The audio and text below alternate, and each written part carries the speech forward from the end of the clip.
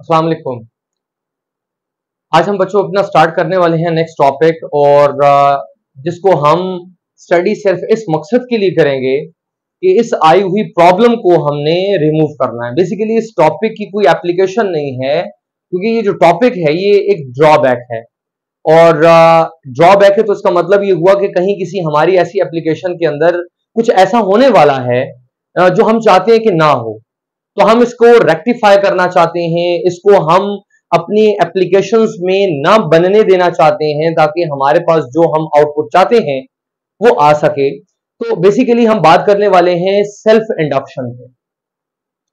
अब self induction से क्या मुराद है? आपके सामने एक डायग्राम है। इस डायग्राम पे पहले जरा नज़र लगाते हैं और फिर समझते हैं कि बेसिक मतलब क्या है हमारे पास सेल्फ इंडक्शन के। बच्चों, हमारे पास यहाँ एक कॉइल है, एक सॉलिनाइड है जिसको मैंने किसी बैटरी के साथ कनेक्ट कर रखा है। और मान लेते हैं कि इस बैटरी की करंट की वजह से जो यहाँ पर मेरे पास फ्लो ऑफ़ करंट आ रहा है सॉलिनाइड के अंदर वो कुछ इस तरफ़ है। सो मैंने वैसे ही जनरली दिखा दिया क्योंकि मैटर नहीं करता। इस टॉपिक के अंदर to show the direction of the current actual direction पे बात करने की ज़रूरत नहीं है। पहली चीज़ तो यहाँ आपको मैं बता दूँ कि जिस तरह से डायग्राम बना रखी है, इस डायग्राम के साथ हमारे पास बेसिक सेल्फ इंडक्शन नहीं होती।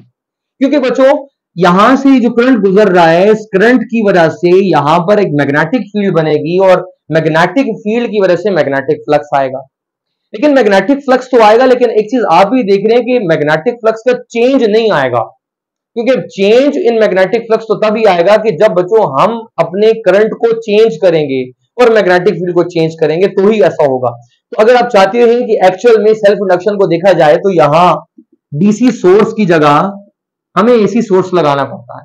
लेकिन चले हम मान लेते हैं कि हमने डीसी सोर्स लगाया तो यहाँ हमें एक वेरिएबल रेजिस्टर भी लगाना होगा, ताकि हम यहाँ से जाने वाले करंट को चेंज कर सकें। क्योंकि बच्चों, जब करंट चेंज होगा, जो कि इस क्वाइल से फ्लो कर रहा है, गुजर रहा है करंट जब चेंज होगा तो उससे बनने वाली मैग्नेटिक फ़ील्ड भी चेंज होगी। और जब मैग्नेटिक फ़ील्ड चेंज होगी तो मैग्नेटिक फ़ील्ड डेफिनेटली दोनों क्रॉस सेक्शन से गुजरेगी। अपने क्रॉस सेक्शन से भी उस मैग्नेटिक फ़ील्ड का फ्लो आ रहा है, गुजर हो रहा है। तो वो जो मैग्नेटिक फ़ील्ड और उसकी वजह से आने वाला जो चेंज ऑफ़ मैग्नेटिक फ्लक्स होगा, वो इसी क्वाइल के अंदर, इस करंट के साथ साथ एक और करंट भी लेकर आएगा और उस करंट को हम नाम देंगे इंड्यूस्ड करंट अब क्योंकि ये क्वाइल अपने ही अंदर, अपनी ही जात में एक इंडक्शन करवाने जा रही है तो ऐसी इंडक्शन को हम नाम देने वाले हैं सेल्फ इंडक्शन तो फिर से इस बात को जरा बच्चों समझते हैं। हमने एक सोर्स ऑफ़ करंट लगाया जैसे तैसे इसके करंट को चेंज करवाया, इस करंट की वजह से यहाँ इस सॉलिनाइड ने मैग्नेटिक फ़ील्ड बना ली। जो मैग्नेटिक फ़ील्ड हम पहले भी कई चैप्टर्स में देख चुके हैं, मान लेते हैं कि यहाँ नॉर्थ है और यहाँ साउथ है। अगर तो ये कॉन्स्टेंट मैग्नेटिक फ़ील्ड दोनों क्रॉस सेक्शन से क्वाइल की गुजरती रही तो मैग्नेटिक फ्लक्स का तो चेंज ज़ीरो रहेगा। और आप जानते हैं कि चेंज ऑफ़ मैग्नेटिक फ्लक्स अगर ज़ीरो रहे तो फिर इंडक्शन नहीं होती। लेकिन क्योंकि ये प्रॉब्लम हमें फेस कर करना पड़ती है। तब जब हम किसी क्वाइल को, किसी सोलेनाइड को कनेक्ट करते हैं with the alternating current with AC source अब अल्टरनेटिंग करंट गुजर रहा है। मैग्नेटिक फ़ील्ड हमारे पास जो बार बार चेंज हो रही है, क्योंकि करंट तो चेंज हो रहा है।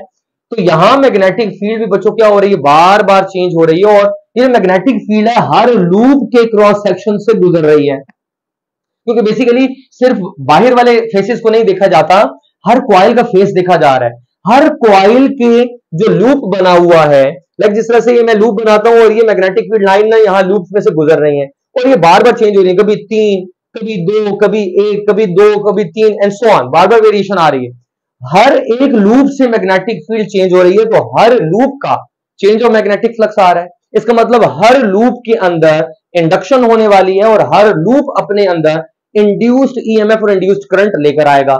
और क्योंकि हमें पता है कि ये जो इंडक्शन है ये हमेशा अप, अपने साथ अपोजिशन लेके आती है तो ये जो करंट इसके अंदर बनने वाला है बच्चों ये करंट हमेशा हमारे गिवन करंट से ऑपोजिट होता है। मान ले कि यहाँ से जो करंट है कहीं डाउनवर्ड जा रहा है तो ये वाला जो करंट हमारे पास है कहीं हम दिखा देते हैं कि अपवर्ड जा रहा है। ये दोनों ही करंट एक दूसरे से ऑपोजिट होते हैं। जस्ट ये दिखाने के लिए क्योंकि ये जो आया हुआ इंड्यूस ईएमएफ इंड्यूस करंट है हमारे इनपुट करंट को क्या करेगा? अपोज करेगा उसको रोकेगा। अब थोड़ी देर के लिए जरा बात अपने जहन में लेकर आए। बेसिकली इससे हम आगे अपनी एक, एप्लीकेशन बनाते हैं लेकिन थोड़ी सी बात को यहाँ पर भी समझा जा सकता है। मैं एक करंट का फ्लो करवा रहा हूँ। मैं चाहता हूँ कि आगे इस क्वाइल की वजह से कहीं और इंडक्शन हो किसी दूसरी क्वाइल में। मैंने यहाँ पर दिया twelve ampere like twelve volt मैंने दिया और उससे बना मेरे पास कहीं फाइव एम्पियर्स करंट अब फाइव एम्पियर करंट की वजह से यहाँ पर मेरे पास आने वाला जो करंट था, वो सपोज़ कर लेते हैं कि टू एम्पियर करंट था। ये आ गया टू एम्पियर करंट यहाँ पर आ गया मेरे पास जो गिवन इनपुट था, वो फाइव एम्पियर था।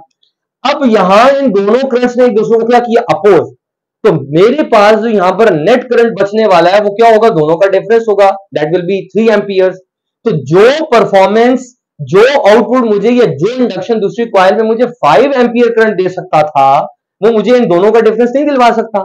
मेरी जो इंडक्शन किसी दूसरी क्वाइल में होने वाली थी फाइव एम्पियर करंट की वजह से, अब वो इन दोनों की मौजूदगी में हरगिज नहीं होने वाली। तो मैं ये देख रहा हूँ, ये आया हुआ करंट हमारे करंट को रोक रहा है।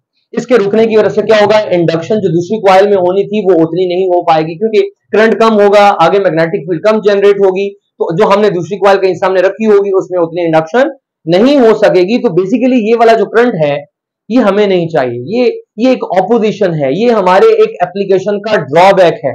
तो हम इसको निकालना चाहते हैं। हम चाहते हैं कि हम इसको जैसे तैसे कम करें और इसको हम इंड्यूस करंट नाम नहीं देंगे, बल्कि इसको हम नाम देंगे बैक ईएमएफ या बैक करंट बैक ईएमएफ या बैक करंट तो सबसे पहले तो यहाँ पर बच्चों हमने देखा कि जो इंडक्शन है, किसी भी क्वाइल की अपने सेल्फ के अंदर induction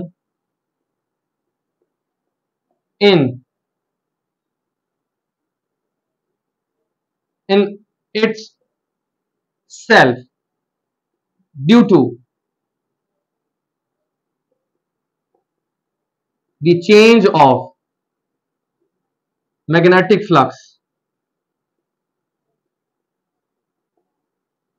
तो जब जब मैग्नेटिक फ्लक्स का चेंज आएगा, क्योंकि करंट तो हम चेंज कर रहे हैं बच्चों तो यहाँ से आने वाला जो इंड्यूस करंट होगा, वो हमारे इस करंट को रोकेगा और उसकी वजह से हमारे पास जो आगे हम इंडक्शन करवाना चाहते थे यूजफुल इंडक्शन वो हमें उतना आउटपुट नहीं दिलवा सकेगा, हमें उतना आउटपुट नहीं मिलेगा। अब यहाँ एक चीज़ हम देख रहे हैं और रिलेशन में एक बात समझ में आती है हमें कि जो सेल्फ इंडक्शन है हमारे पास, कब ज़्यादा होगी, कब कम होगी, हम इसकी डिपेंडेंस देखना चाहते हैं ताकि हम इसको किसी तरह से कम कर सकें मिनिमाइज कर सकें। तो जो हमारे पास फ्लक्स है। जितना ज़्यादा होगा, उतना ही ज़्यादा हमारे पास यहाँ पर करंट भी आएगा। ठीक हो गया? जितना ज़्यादा हम फ्लक्स लेके आएँगे, जितना चेंज करवाएँगे, उतना करंट का भी चेंज आएगा। तो डायरेक्ट रिलेशन हमारे जहन में आता है। साथ में एक चीज़ और भी मुझे समझ में आती है कि अगर मैं नंबर ऑफ़ टर्न ज़्यादा कर देता हूँ तो भी मेरे पास आने वाला इंड्यूस करंट है, वो बढ़ जाएगा। वो कैसे जरा गौर से देखें। मान लिया कि बच्चों, यहाँ पर मेरे पास सिर्फ़ पाँच लूप है। पाँच लूप से मेरे पास इंड्यूस ईएमएफ आया आ, एक लूप से आया वन वोल्ट एक लूप से आया वन वोल्ट पाँच लूप हैं। टोटल ईएमएफ कितना हो गया?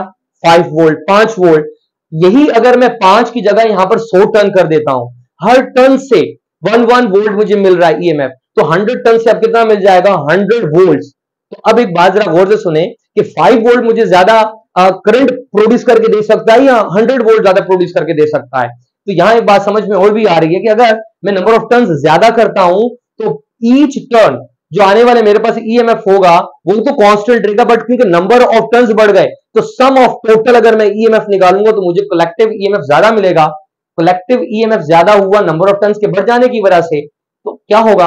आने वाला करंट भी तो बढ़ेगा, मुझे यहाँ पर इंडक्शन ज़्यादा मिल जाएगी तो मैं अगर इसको कम करना चाहता हूँ बच्चों तो मेरे पास एक ही तरीका रहता है कि मैं नंबर ऑफ़ टर्न्स को कम कर दूँ। मैं क्या कर दू? नंबर ऑफ़ टर्न्स को कम कर दूँ। फ्लक्स का चेंज इसलिए भी कम नहीं किया जा सकता। हम नेक्स्ट टॉपिक में भी इस चीज़ को समझेंगे, क्योंकि इसको कम कर देने से मेरे पास आने वाला जो मैग्नेटिक फ्लक्स और जो दूसरी क्वाइल से इंडक्शन करवानी है, वो भी फिनोमिनन जो है वो मिनिमाइज हो सकता है, कम हो सकता है। तो इस क्वाइल में आने वाले सेल्फ इंड्यूस करंट को या इंडक्शन को कम करवाने का जो सबसे बेहतरीन तरीका है, ये जो सबसे बेस्ट वे है, वो ये कि हम नंबर ऑफ़ टर्न्स को क्या करेंगे इसके कम कर देंगे मिनिमाइज कर देंगे। अगर मैं इस रिलेशन को ओपन करूँ तो ये बनता है, यहाँ सेल्फ इंडक्शन का अगर मैं सिंबल लगाऊँ constant that is known as self inductance तो फॉर्मूला बनता है N five equals to L I ये जो एल है बच्चों, ये हमारे पास है सेल्फ इंडक्टेंस जिसे हम यहाँ पर साइन ऑफ़ प्रोपोर्शनैलिटी भी कहते हैं। और ये खुद भी कुछ चीज़ों पे डिपेंड करता है कि नेचर ऑफ़ कोर कैसा है नेचर ऑफ़ मटेरियल कैसा है क्वाइल के नंबर ऑफ़ टर्न्स कैसे हैं मटेरियल कैसा है। सॉन बहुत सारे यहाँ पर फैक्टर्स मौजूद हैं। तो हम यहाँ पर क्या करते हैं बच्चों कि अगर हम फेरेडेस लॉ को यूज़ कर लेंगे मेरे पास पहला फॉर्मूला है using Faraday's law Faraday's law जो इलेक्ट्रोमैग्नेटिक इंडक्शन का बच्चों बेसिक लॉ हमने पढ़ा था फेरेडेज लॉ हम उस इक्वेशन को यूज़ करेंगे। और हम अगर उस इक्वेशन का इस्तेमाल करें तो हमारे पास इक्वेशन आती है। ईएमएफ e की epsilon equals to N delta five over delta T मैं इस इक्वेशन में से डेल्टा को अगर बच्चों थोड़ी देर के लिए बाहर निकाल लूँ तो ऐसा लिखा जा सकता है इसको। Delta equals to N five over delta I मैं इस इक्वेशन वन को जो मैं यहाँ लिख कर आया हूँ, इसको यहाँ इसकी जगह पुट कर सकता हूँ। एन फाइव एन फाइव इसकी जगह लिख देते हैं यूजिंग इक्वेशन वन अगर मैं इक्वेशन वन को यूज़ करूँ तो मेरे पास जो फॉर्मूला है, वो ये रह जाएगा कुछ इस तरह से epsilon equals to delta L I over delta T बच्चों, पता है हमें कि जो डेल्टा का फैक्टर होता है, हमेशा किसी वेरिएबल के साथ लगाया जाता है तो मैं इस फॉर्मूला को फाइनली कुछ ऐसा लिखूँगा। Epsilon equals to L delta I over delta T तो ये तो हमारे पास बच्चों आ चुका है self induced EMF self induced EMF जिसकी वजह से हमें जिसे हम बैक ईएमएफ भी कह रहे हैं, जिसकी वजह से हमें सेल्फ इंड्यूस्ड करंट भी मिलता है या बैक करंट मिलता है तो ये तो आगे इसकी एक्सप्रेशन जिसको अगर हम यूनिट में लेकर जाएँ तो इसकी यूनिट हमारे पास निकल आती है वोल्ट जैसे हम आमतौर पर वोल्टेज को लेके चलते हैं, वैसे इसकी यूनिट भी निकल आएँगी। बट यहाँ मैं देखना चाहता हूँ कि ये जो सेल्फ इंडक्टेंस है, इसको कैसे डील किया जा सकता है, ये ये किन किन फैक्टर्स पे डिपेंड करता है, ये इसका रिलेशन क्या है? तो यहाँ कुछ चीज़ें हैं जो एक्सप्रेस की जा सकती हैं कुछ इस तरह से।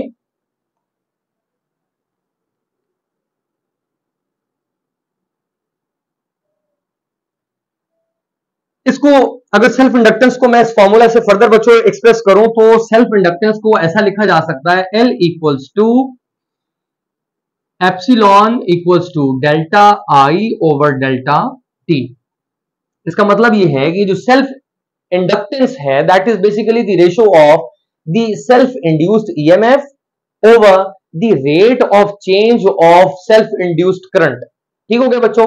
इन दोनों की जो रेशियो ना हमारे पास इन्फॉर्म करती है अबाउट दी सेल्फ इंडक्टेंस तो सेल्फ इंडक्टेंस हमारे पास यहाँ पर जो साइन ऑफ़ प्रोपोर्शनैलिटी था, जिसकी हमने डिपेंडेंस फैक्टर्स पे भी बात की, उसका यहाँ रिलेशन आ गया कि जो रेशियो है हमारे पास, कितना हमने सेल्फ इंड्यूस ईएमएफ करवाया और कितना हमारे पास rate of change of current आया उससे आने वाली जो वैल्यू दैट विल इन्फॉर्म और tells us about the self inductance of any coil जो हमने यहाँ पर इस्तेमाल की और ये वेरी करेगी कि जब हम मटेरियल चेंज करेंगे कॉइल चेंज करेंगे, क्योंकि इसकी जो नेचर है वो हमेशा एक जैसी नहीं रहती है डिपेंड करती है। जैसे मैंने थोड़ी देर पहले बात की नंबर ऑफ़ टन हो गए नेचर हो गई अकोर कैसा है एरिया कितना है सो ऑन बहुत सारे फैक्टर्स पे डिपेंड करती है।